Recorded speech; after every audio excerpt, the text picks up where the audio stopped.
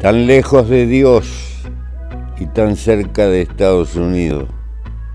dijo Porfirio hace muchos años.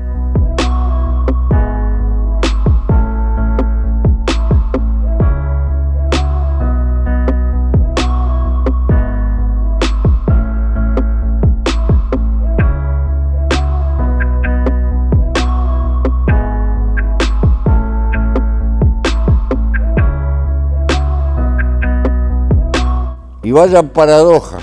un luchador que fracasó en varios intentos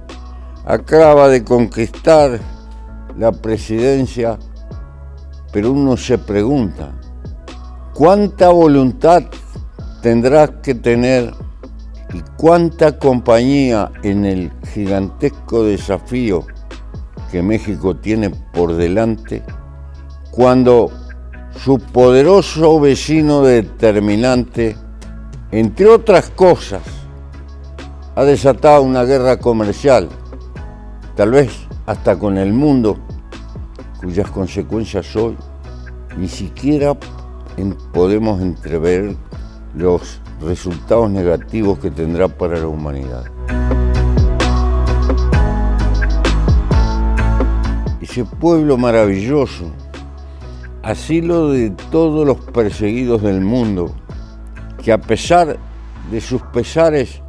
pudo recibir un millón de migrantes en un año sin quejarse, golpeado por la droga, porque es el camino natural de la droga hacia el gran mercado norteamericano, porque además su frontera ha sido frontera de pan y porque además su economía está como soldada con el gigantesco vecino, pero los problemas históricos, sociales, su destrucción interna, su creciente camino de corrupción, han provocado una reacción política.